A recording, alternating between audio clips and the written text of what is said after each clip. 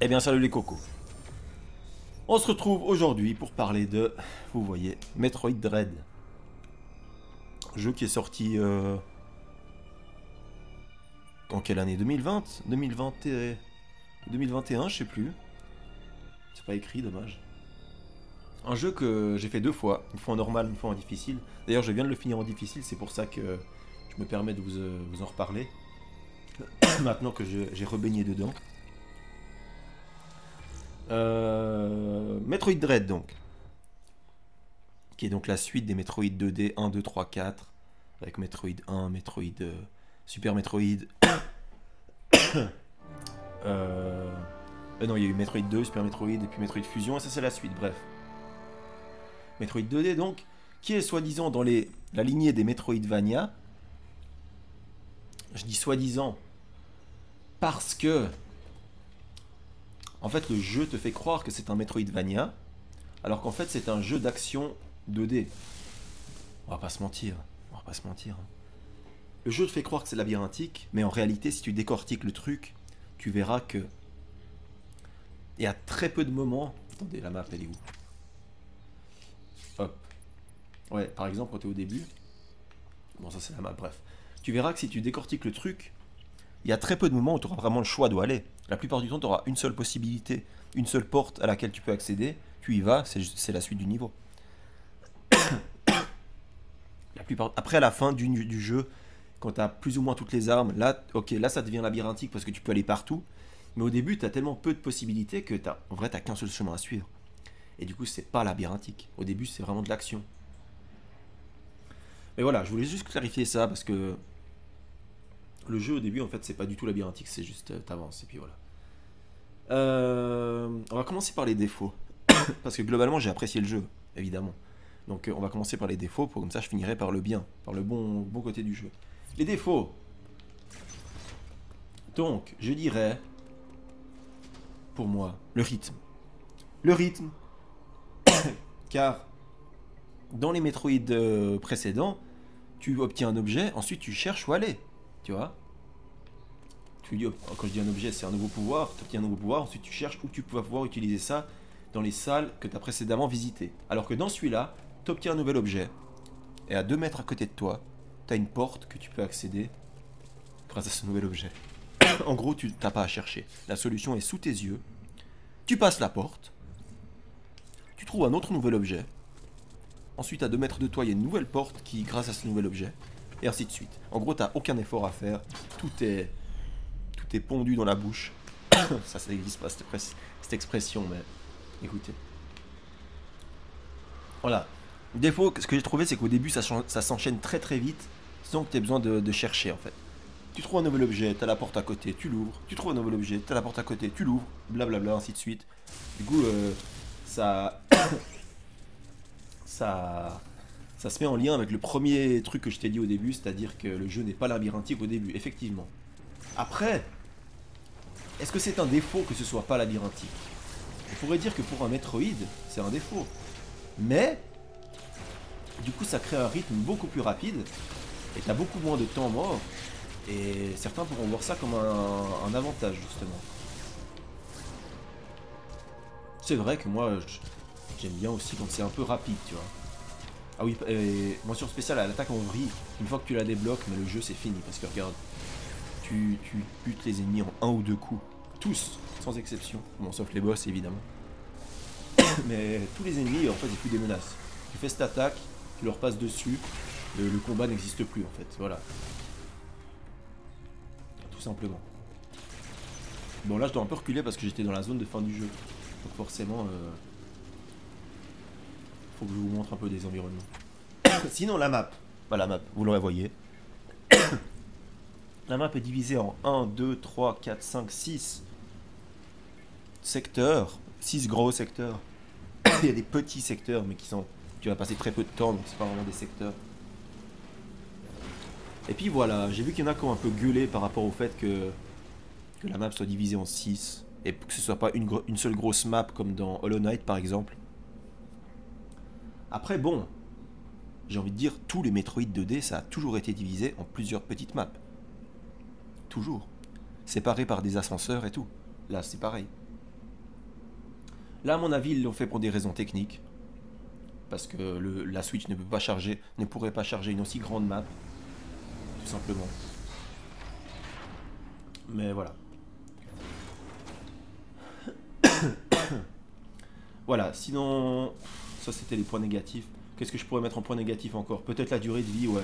Parce qu'il est un peu court. C'est vrai qu'il est un peu court. Je dirais, quoi, tu le finis en... Quand tu le connais pas, tu le finis en 10 heures. Quand tu le connais, tu le finis en 7 heures, tu vois. Non, même pas. Quand je le connaissais pas, je l'ai fini en 9 heures. Et quand je le connaissais, je l'ai fini en 7 heures. Donc bon. Voilà. C'est peut-être un peu court, mais bon. Le rythme est tellement bon que... Voilà, ça va. Euh, sinon... Ouais, je pourrais mettre... En, point négatif, je pourrais mettre la, musique aussi, parce que bon...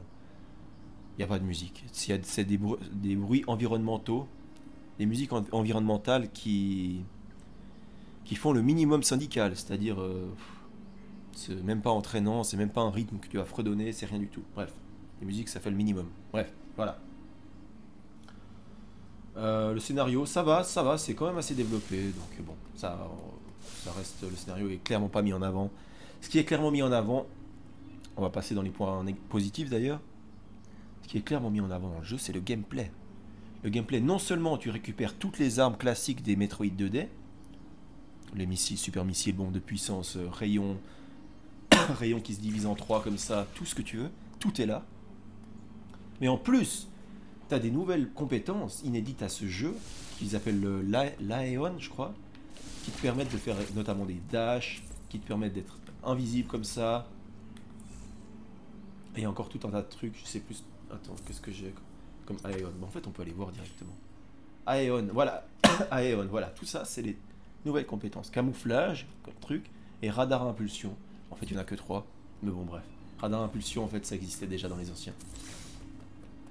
Mais bon, en fait, il y a principalement ce dash-là. Mais ce dash-là, ça rajoute un dynamisme au jeu non négligeable. Vraiment. Ah oui, puis il y a la, glissade. La glissade qui est vraiment ouf. Parce que plutôt que de te mettre en boule, rouler et te redéplier, bah tu fais juste ça. Et puis ça, augmente le dynamisme de, de fou. Et c'est vraiment appréciable. Je vais aller là parce que normalement il y a un boss. Je vais voir s'il est toujours là. Oui, il est toujours là. Parfait, on va voir se le refaire. Non, pas du tout, il est plus là. Ils ont remplacé ça par un mob inutile. Ok, tant mieux. Super. Bref. Euh, Qu'est-ce que je disais Qu'est-ce que je disais avant ça Je sais plus. Merde Ouais, les compétences Aeon, ouais, blablabla. Et puis ensuite, qu'est-ce que je disais Oui, le dynamisme du gameplay. Qui est vraiment... Euh, ouais, le gameplay, finalement, c'est le, point central du jeu. Hein. Parce que le gameplay est parfait. En termes d'action, c'est le gameplay parfait. Il n'y a aucun mouvement que tu aimerais avoir en plus pendant les scènes d'action, pendant les combats très très dynamiques. Il n'y a aucun mouvement que tu aimerais avoir en plus parce que tu as tout. T'as tout ce que tu veux pour te déplacer librement pendant les combats, pour attaquer comme tu veux. T'as une nouveauté qui est le système de contre. Comme ça, dès que tu contres, tu peux immédiatement contre-attaquer et one-shot l'ennemi. Ça, c'est vraiment kiffant. Surtout qu'ils ont implémenté ça pendant des, pendant des boss. Et ça, c'est vraiment cool. Ils ont implémenté ce système de contre pendant les boss. Les boss te vont faire un certain pattern que tu vas pouvoir contrer. Et si tu le fais, tu as une cinématique qui s'enclenche où tu vas pouvoir le bourrer pendant la cinématique. Donc le bourrer de missiles pendant la cinématique. Et ça, ça c'est vraiment vraiment cool je trouve. C'est un gros point positif. Sais pas où aller. Je sais pas quoi vous montrer en vrai. Évidemment la combinaison de, gravité qui permet d'aller sous l'eau. Tu débloques à un certain moment du jeu. On va aller là. Par exemple, Day One, je sais plus vraiment ce que c'est Day One, mais c'est peut-être sympa. Sûrement sympa, on va aller là. T'as un système de téléporteur, ça c'est aussi la première fois qu'on voit ça. En plus des ascenseurs qui relient les zones à une autre, t'as des téléporteurs qui relient des zones à une autre. Pourquoi pas? Pourquoi pas? Voilà, vous voyez, les temps de chargement sont symbolisés par... Euh, Petite animation qu'on appréciera ou pas. Mais voilà.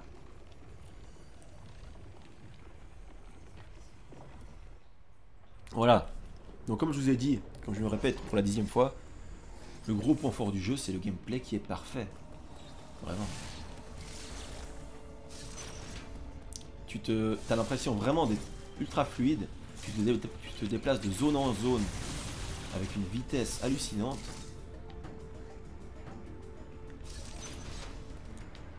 Regarde, tu te sens pas freiné du tout. j'ai envie d'aller où je vais en haut par là. Hop, hop, hop, hop. J'ai envie de. Je skip la salle de sauvegarde. Je vais là. Hop. Là, lui me fait chier. Tant pis, je le skip. Je vais là-haut. Hop. Voilà, il y avait un ennemi dommage. j'ai envie d'aller là-haut. En fait, non, parce que ça ne sauvegarde. Finalement, je descends. Je vais là. Hop. Tout se fait tellement rapidement que.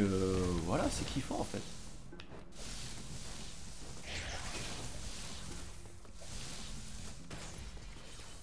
Évidemment. Oh, j'avais pas pété ça, tiens. Bon, ça sert à rien, même.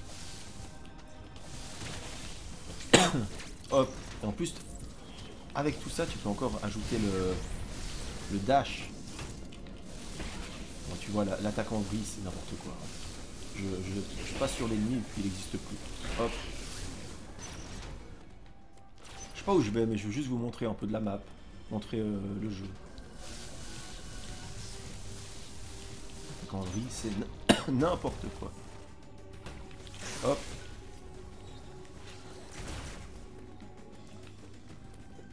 Le mode difficile, ouais, je peux vous parler du mode difficile parce que je l'ai fait. C'est au début, c'est hardcore, vraiment. Parce que t'as peu de vie. Et plus tu avances dans le jeu, plus tu récupères des des tanks d'énergie, plus ça évidemment ça devient facile. Puis, euh, mais c'est vrai que globalement, les ennemis, euh, quand ils t'enlèvent deux barres de vie entières en un coup, euh, tu sues un petit peu quand même. Hein On va pas se mentir. Toujours les petits tunnels avec la boule. C'est toujours sympathique ça. Bref. Qu'est-ce que j'aurais à vous dire de plus en vrai?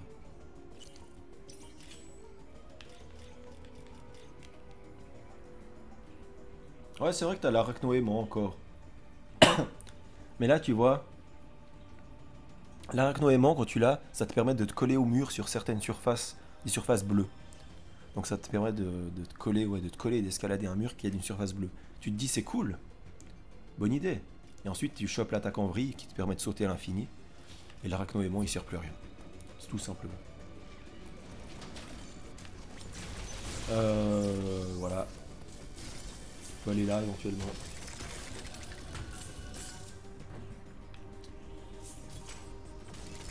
Mais ça, pour moi, c'est aussi un point fort quand même.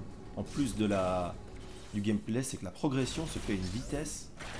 Après, c'est peut-être aussi pour ça que le jeu est court, parce que tu vois, si je veux, si je veux tuer aucun ennemi et tracer, je peux.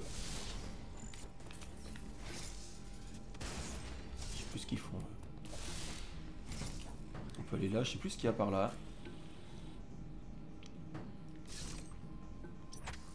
Et puis voilà. j'ai fait le 100% des objets.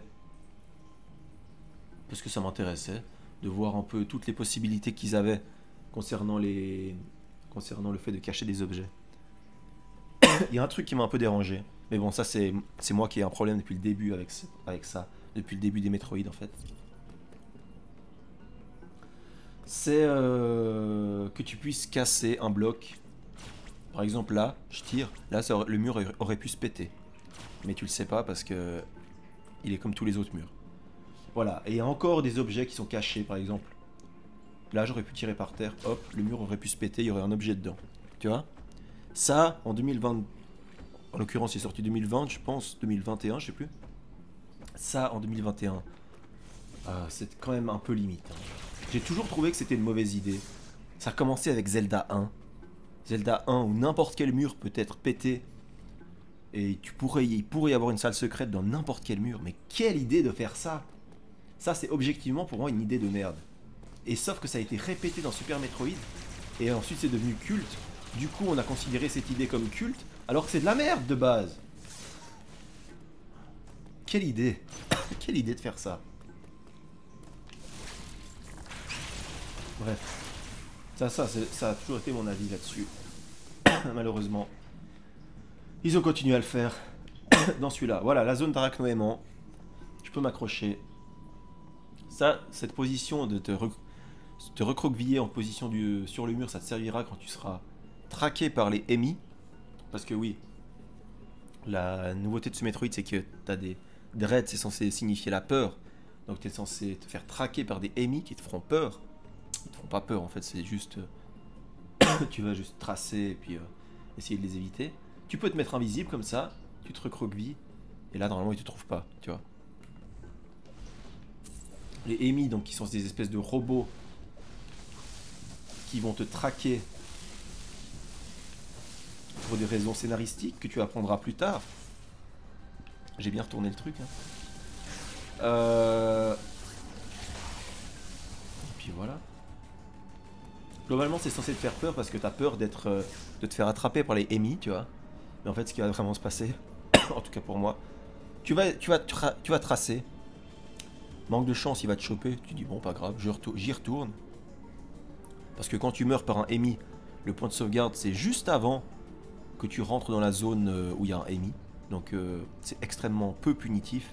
Donc finalement, t'as pas peur, tu te dis juste, je tente, si ça passe pas, tant pis, je retente. Voilà. À la fin, tu es dans cette mentalité-là. Donc euh, tu ressens pas de la peur.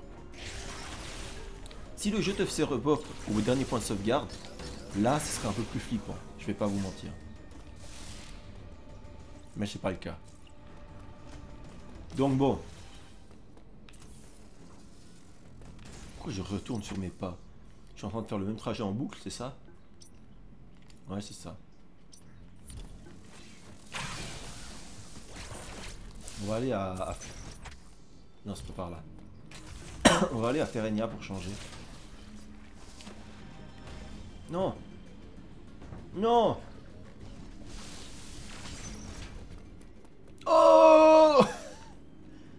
Je pensais pas que le pic il passait à la porte, putain. Bref. Voilà, j'ai plus grand chose à vous, à vous dire. à part, peut-être, oui, un truc. Les boss sont très très bien travaillés. La plupart sont longs. Ils ont des patterns intéressants. Ils ont, comme je t'ai dit, la possibilité que tu les contres. Et ouais, c'est les boss sont très très bien faits. C'est des combats intéressants, dynamiques et où tu t'ennuies pas. Donc ouais, les boss très très bons, point fort.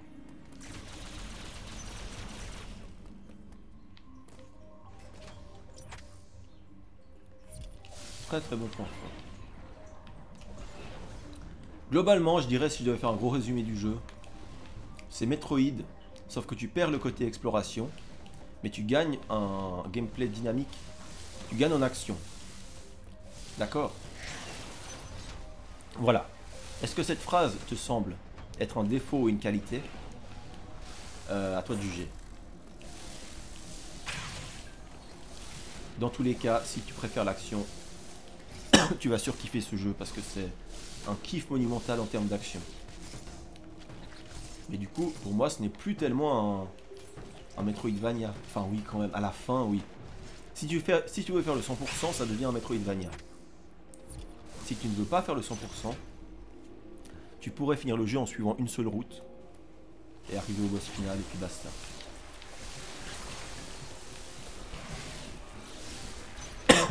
Do you see what I mean? Et puis voilà,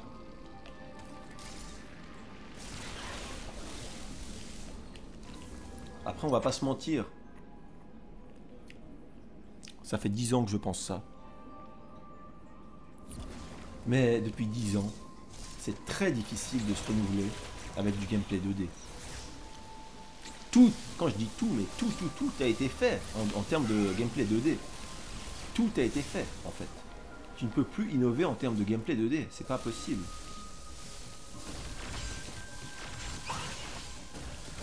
Ce n'est pas possible. Gavoran Pourquoi j'irai à Gavoran. Tout a été fait en termes de gameplay 2D. Donc forcément, ça allait pas révolutionner grand chose. Et effectivement, ça ne l'a pas fait. C'est un jeu agréable à faire, qui révolutionne rien, mais qui reste agréable à faire. Comme tous les jeux 2D sortis depuis 10 ans. Bref, on va s'arrêter là. Euh, évidemment, pour moi, ce jeu, c'est un très bon moyen de patienter en attendant Metroid Prime 4, que j'attends genre 10 fois plus que j'attendais euh, Metroid Dread, en l'occurrence. Parce que euh, Metroid 2D, ça n'a jamais, jamais, été ma cam. Enfin, ça a toujours été sympa, tu passes un bon moment, mais ça n'a pas l'ambition d'un Metroid Prime, si tu vois ce que je veux dire. Metroid Prime, on a, on a, on a, on a explosé un plafond, si tu veux. En gros, c'est ça. On a explosé un plafond de possibilités. Et voilà.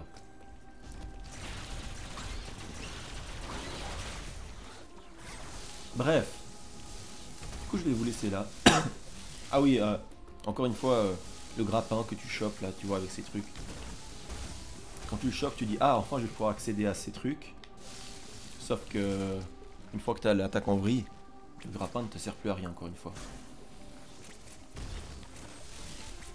Je peux faire ça? Oh, Incroyable. Ah. Il est où?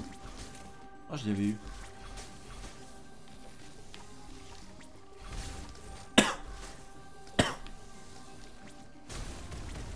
C'est chaud là Finalement, on est assez content de, que le, le grappin se, termine assez tôt parce que... Ah non, ça va.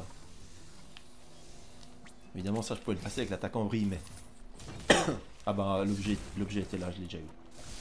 Bref, voilà. Euh, je pensais pas que j'aurais fini de vous parler de ce jeu aussi vite. Pas grand chose de plus à vous dire,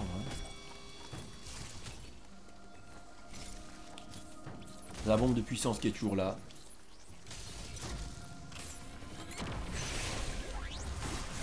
L'effet est plutôt pas mal.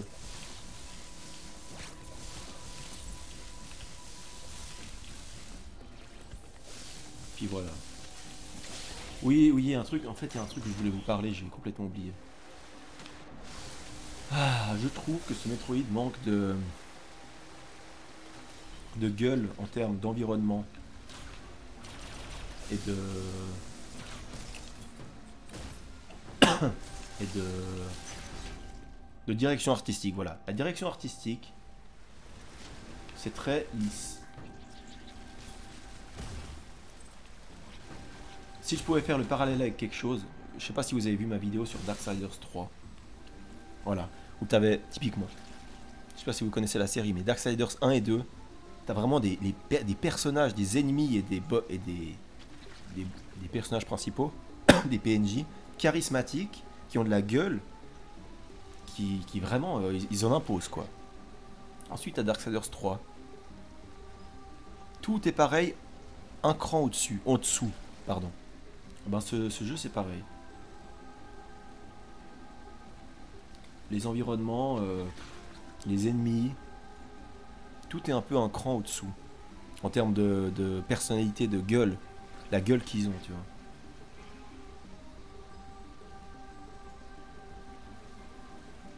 Pas comment dire, mais... Hum, hum, hum. Après, c'est vrai que les ennemis de Metroid n'ont jamais été incroyables non plus. Hein. C'est vrai, ça. C'est bien vrai. C'est surtout dans Metroid Prime qu'ils ont une vraie gueule. Encore une fois. Bref. Bref, voilà. Mais les environnements de ce jeu, c'est vrai que c'est un peu générique, quoi. C'est fait pour être fait, mais ça n'a pas la gueule d'un d'un marais de Torvus de Metroid Prime 2 ou bien de comment dire des ruines Chozo du Metroid Prime 1, des trucs comme ça, tu vois. On n'est pas sur ce genre de truc euh, qui te reste en mémoire.